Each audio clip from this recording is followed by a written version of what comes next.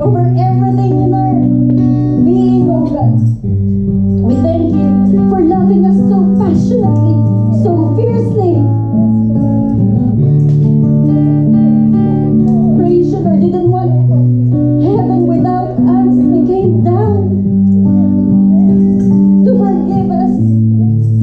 sin so that we can enjoy fellowship with you, intimacy with you, oh God.